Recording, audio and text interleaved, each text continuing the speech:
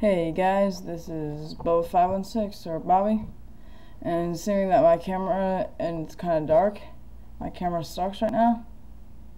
Uh, I'm basically working on brightness right now, but you can still see the paper. So I'm gonna teach you how to make an origami popper.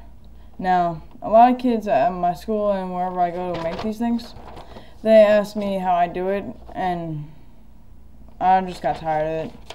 So I'm gonna make this video, I'm gonna tell my friends about it, and all you guys that search how to make popper, you can click on this video, okay? Now, things you need to know is how to fold it halfways.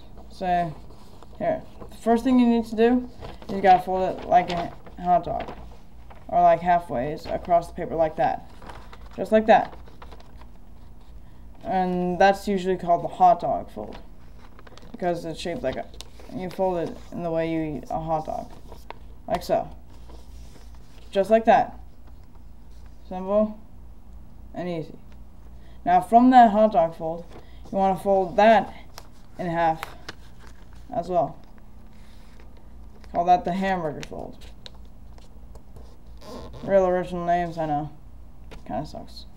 Now, what you want to do, see, there are the outer corners and there are the inner corners. Now you want the inner corners so because that's what basically makes the popper. Take your index finger and your thumb and take the inner corners. Let me see if I can get them here. Take the inner corners and grasp this side or not that side. Wait a second. Let me find this here. Grasp this side right at the bottom right where your two thumbs are. Pull the inner corners out a little bit.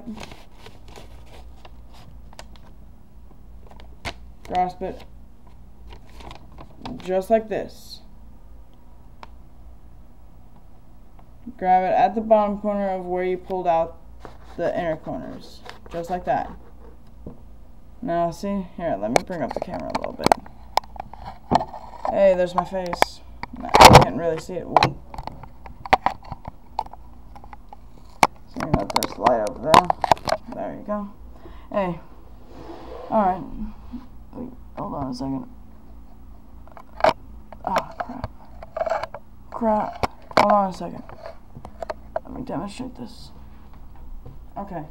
Seeing that you can't see my face that much, I don't really care. Main thing you need to know is about the poppers. Now, the more air pressure you put into it, is like, and the harder you slam it down, is gonna make a lot more loud pops. See, I'm not gonna slam it down this hard. This is gonna make a real low sound. See, here. See?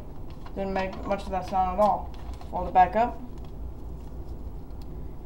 Well, as I said, and you can do this about like maybe three or four times before it's you won't get that good of a reaction to it again. So, all right, here's a lot. Here's a loud sound. And that's all there is to it. Here, I'll do it again. Just for the hell of it.